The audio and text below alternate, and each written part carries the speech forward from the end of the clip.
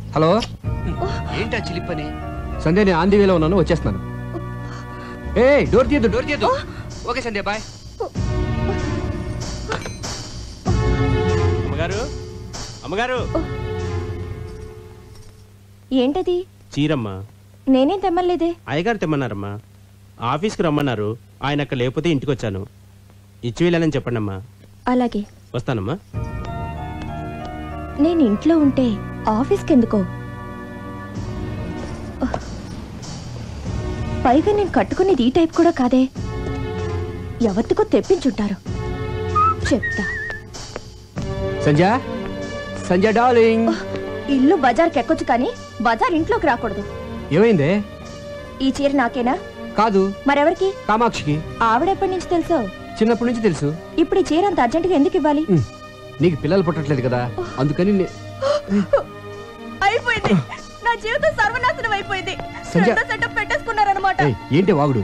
మనకు పిల్లలు పుట్టాలని కంచి కామాక్షమికి చేరబెడతాను మొక్కున్నాం కదా ఆర్డర్ తెప్పించానే? అయ్యయ్యో పవిత్రమైన దేవతకని చీర తెప్పిస్తే అర్థం చేసుకోకుండా అడ్డుపడిపోయానండి. నన్ను కొట్టండి. చెప్తాను.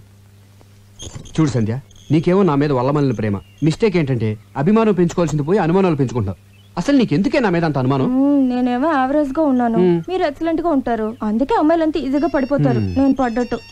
ఉమ్, మధ్యలో ఈ ఫోన్ ఒకటి. ఫోన్ అంటే గుర్తొచ్చింది.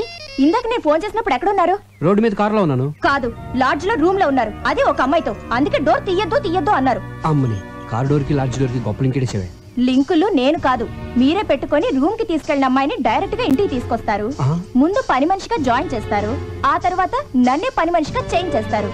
మీరేమో బెడ్రూమ్లో చికెన్ పకోడీ తింటూ ఎంజాయ్ చేస్తారు. నేనేమో కిచెన్లో నిలువ పకోడీలో మూలపడుంటాను. ఆపే ఆపే.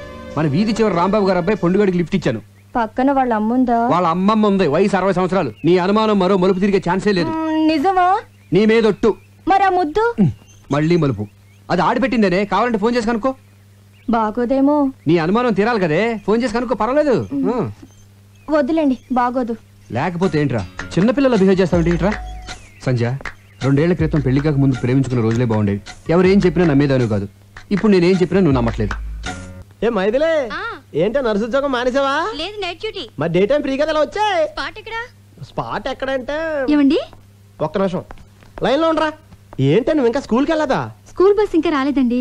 ఈ పూటకి నన్ను మన కార్లో డ్రాప్ చేయరు. ఏం మాట్లాడుతున్నావే?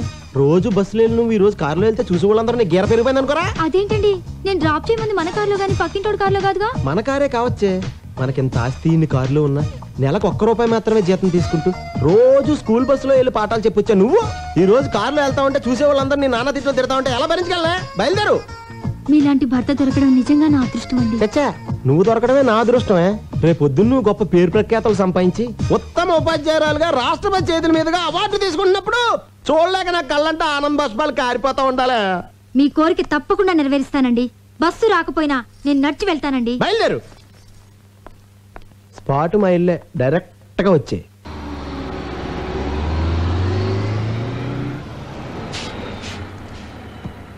ఏంటి వాళ్ళ బస్ లేట్ అయింది? బస్ కొంచెం రిపేర్ అయిందమ్మా.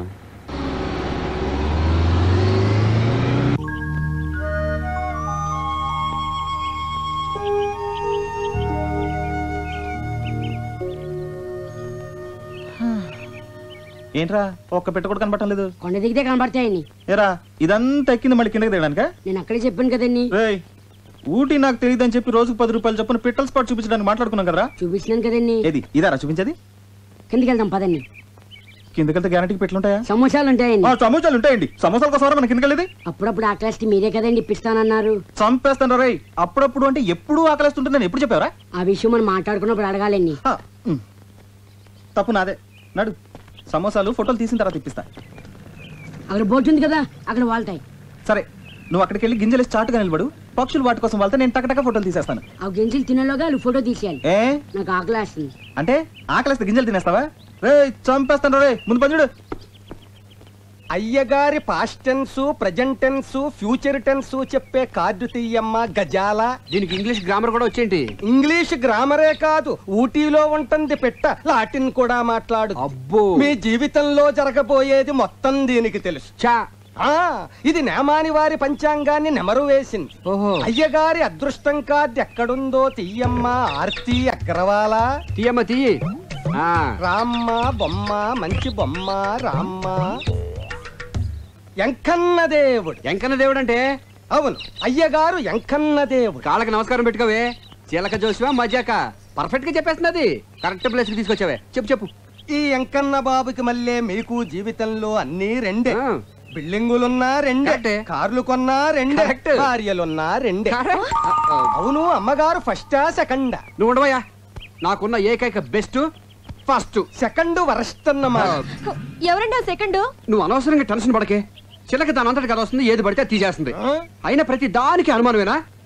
అసలు చిలకేం తెలిసే? చిలక్కేం తెలుసనద్దు ఊటీకొచ్చిన ఓ కుర్రాన్ని చిన్న ఎన్టీఆర్ లెవెల్కి వెళ్ళిపోతాడని చెప్పింది. వెళ్ళాడా? యాక్సిడెంటే పెద్ద ఎన్టీఆర్ లెవెల్కే వెళ్ళిపోయాడు. వెళ్ళిపోయాడా? చూసావా? వీడు చెప్పింది ఒకటి జరిగింది ఇంకోటి. ఇదిగో ఈసారి పర్ఫెక్ట్గా ఇందాక తీసిందే తీసిందే అనుకో అప్పుడు నీ జాతకం నమ్ముతాను. అట్టా. లేకపోతే అక్కడ కనపడతాను చూసావా? దాంట్లో వేసి తొక్కేస్తాను. అయ్యగారు తమ జాతకాన్ని రెండోసారి పరీక్షించుకుంటున్నారు. ఆచితూచి జాగ్రత్తగా తీయమ్మ సోనాలి బిందిరే. బిందె. అయ్యగారు మనల్ని పడేసి తొక్కుతారట. ఇది మన జీవితానికి జాతకానికి అగ్ని పరీక్ష. ఏంటయ్య అలా నవ్వుతున్నావు? ఇందాకల ఎంకన్న దేవుడు. ఇప్పుడు రావడం వచ్చి ఉంటాడు. కృష్ణ పరమాత్ముడు మోస్ట్ పవర్ఫుల్. ఇంతకు ముందు వెంకటేష్ ప్రసాద్ లాగా ఒకటి రెండు రన్నులే. ఇప్పుడు టెండూల్కర్ లాగా సెంచరీల మీద సెంచరీలు. ఇదంతా ట్రాష్ నువ్వు నమ్మద్దు. మరి అలాంటప్పుడు జాతకం చెప్పించుకోవడానికి చిలక దగ్గరకు వచ్చే ముందు ట్రాష్ అని చెప్పలేదే? మీకు అనుకూలంగా రాలేదనేగా? చెప్పు.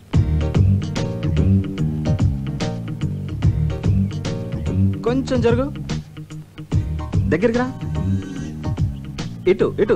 నువ్వు నిజమే చెప్తేనే నా ఆ, ముందున రామచంద్ర. Okay okay. ఉన్నది లేనట్టు, లేనిది ఉన్నట్టు చెప్పడం మనకు చేత కాదు. మధ్యలో ఈ బచ్చేగాడు కాదు లుచ్చేగాడు. నేను అనేది వీణ్ణి కాదు వాణ్ణి. ఎవరినే అటు చూడండి. మ్మ్, సూపర్. అలాగుండు. ఏమండి? వాడిందాక నుంచి నాకు అసభ్యంగా సైకిల్ చేస్తున్నాడండి. ఏయ్, అస్తమాను దున్నపోతున్నా తిండేంట్రా? గాడిద. రాస్కెల్ నిన్ను? ఏమండి? ఏయ్, నువ్వెవడువా తప్పక నిన్నేనా తప్పగా బాబు. ఏయ్ మొగుడు పక్కన ఉండగా సైకిల్ చేస్తావా? పైగా నన్ను తప్పుకోమంటావా? ఎక్స్క్యూజ్ మీ మీరేం మాట్లాడుతున్నారు? నాకు అర్థం కావట్లేదు. నీలాంటి యదవులకి ఏం అర్థం అవుతుందిరా ఆ? హలో మీరు ఎక్స్ట్రా మాట్లాడుతున్నారు. ఎక్స్ట్రాలు మాట్లాడేది నేను కాదు ఎక్స్ట్రాలు చేసేది నువ్వు. అసలు ఏంటో నీ ఉద్దేశం? ఎవరా నువ్వు? అసలు మీరెవరండి? నేనా. దానికి మొగుడిని అది నాకు పెళ్ళం. బాగుంది. చాలా బాగుందా? ఏంట్రా బాగుంది? ఆ? జాతకం చెప్పించుకుంటే నా పిల్లలకి సైకిల్ చేయటమే కాకుండా ఫ్లయింగ్ కిస్ ఒకటి. ఇప్పుడేమో బాగుంది? చెప్పు. మీరు- అనవసరంగా రెచ్చిపోతున్నారు. నేను సైక్ చేసింది మా ఎలుగు బంటాడికి ఎలుగుబంటాడు. ఏడు ఎక్కడ? అదిగో అదిగో. ఎక్కడ్రా! నీలాంటి రోడ్ సైడ్ రోమేల గురించి నాకు తెలుసురా. నా దగ్గర నీ డ్రామాలు? ఏడి ఎలుగు? అన్నా హ, ఇదిగో. నేను చూపించిన పెట్టుబడినా డబ్బులు ఆకలేసి ఈడు నీకు అమ్మాయిలు చూపించేవాడు. పైగా వీడి కమిషన్. పోరా. ఎక్స్క్యూజ్ మీ వాడు పిట్ అంటున్నాడు మీరు అమ్మాయి అంటున్నారు. పెట్టంటే మాకు తెలియదు బాబు. ఇప్పుడే పెట్టేట్టుకొచ్చాం. ఏమంటే మీరు పెట్టెట్టుకొచ్చారో బ్యాగ్ కట్టుకొచ్చారో నాకు అనవసరం. But basically I'm still photographer okay మెడలో కెమెరా తగిలించుకుంటే ఫోటోగ్రాఫర్లు అయిపోతారా? ఇక్కడ చాలా మంది మెడలో కెమెరాలు ఉన్నాయి. అందరూ ఫోటోగ్రాఫర్లా ఇదిగో ఈ మధ్య పెద్ద ఫ్యాషన్ అయిపోయిందిరా. మెడలో కెమెరా తగిలించుకోవడం జూమ్ లేడు అమ్మాయిలు అందాలు హలో. నేను? తీసేది ఓన్లీ పిట్టల్నే. ఇదిగో మళ్ళీ పిట్లు ఓకే పక్షులు. ఓకే? బర్డ్స్ బర్డ్స్ పక్షులు. యా. ఐడెంటిటీ కార్డు ఉందా? పోనీ అంత ముందు తీసిన ఫోటోలు ఏమైనా ఉన్నాయా? చూపిస్తాను నమ్ముతారా? చూయించు. వన్ చూయించు. బాగా చూడండి. ఆడకాకి పోతు కాకి తోక ఎత్తిన కాకి తోక దించిన కాకి పిండం తింటున్న కాకి. ఆ పాప నీ కాగోలా చూసారుగా? అనుమానం తీరిందా? ఆ, ఏమండి ఇలా ప్రతిదానికి అనుమానించే భర్త ఎలా కపరం చేస్తున్నారండి? వాట్ ఏ బ్యూటిఫుల్ లొకేషన్ ఏ ఇలా రండి. రండి. కెమెరా ఇది. ఇదిగోవే ఇదేంటి రీల్ ఇచ్చా కెమెరా ఉంటే లాభం లేదు రీల్ మస్ట్గా ఉండాలని చెప్పావుగా అందుకే అది వదిలేసి తెచ్చాను. ఆహా. మర్చిపోయానని ఎంత నీట్గా చెప్తున్నావే సరదాగా ఒక టెన్ డేస్ హ్యాపీగా ఎంజాయ్ చేద్దామని వస్తే ఫస్ట్ డేని తొందర పెట్టేసావు కదా. ఎరా పిచ్చు కల్లి గబ్బిలాల్ని చూపిస్తావే కానీ వెరైటీ పక్షుల్ని చూపించవేరా? అందుకే కదా ఇక్కడ తీసుకొచ్చింది ఇది చావుకొండ. అంటే?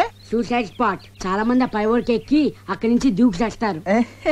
ఎన్ని తెలివితేటలు రా నన్ను కొండ మీద నుంచి తోసేసి నా ఆస్తి కొట్టేద్దామనే? ఆయ్? అబ్బో ఆస్తి. నెత్తి మీద అద్దరు పెడితే పావడ కూడా కొనేవాడు లేడు. ఆ, అదే మరి. ఇంత పెద్ద నెత్తి మీద చిన్న రూపాయి పెడితే ఎలా కనిపిస్తుందా అసలు ఎలా కనిపిస్తుంది? ఆ కొండెక్కుదామా ఊటీ బ్యూటీ మొత్తం కనిపిస్తుంది.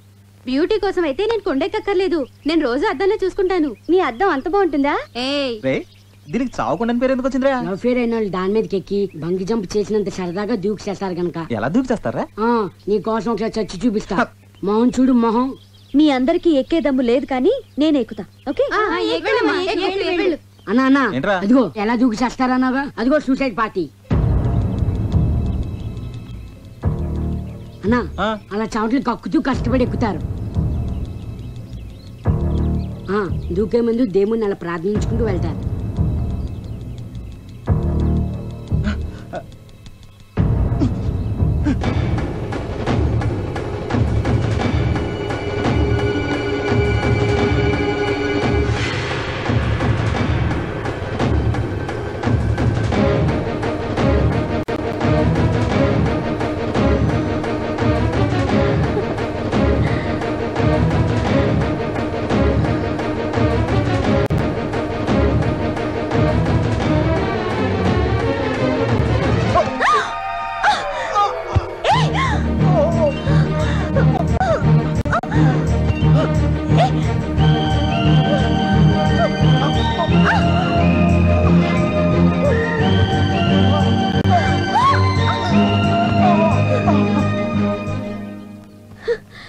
నాన్ సెన్స్ ఏం నువ్వు చేసింది?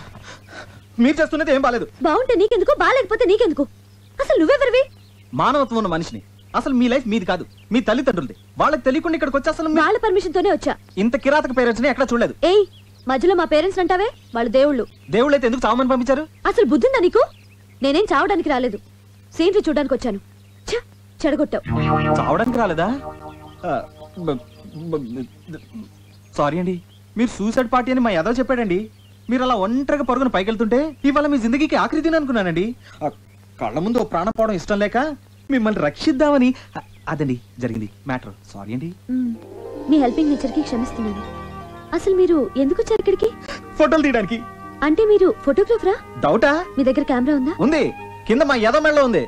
అలాగా. మేము ఇక్కడికి టూర్కి వచ్చాం. ఆ, వచ్చేటప్పుడు కెమెరా మర్చిపోయాం. మర్చిపోతే? మాకు ఫోటోలు తీసి పెడతారా? తీసి పెడతా రానా? ఏమండి మీలాంటి అందమైన అమ్మాయిలకి ఫోటోలు తీస్తే అసలు నా టాలెంట్కి సాన పెట్టినట్టు ఉంటుందండి ఆ, రేపు ఏంజిల్ స్పాట్కి వస్తారా? వస్తా రానా? మీకంటే గంట ముందు వచ్చి మూడు కళ్ళతో వెయిట్ చేస్తానండి. మూడు కళ్ళ? వెన్నాయి ఒకటి కెమెరా. సారా.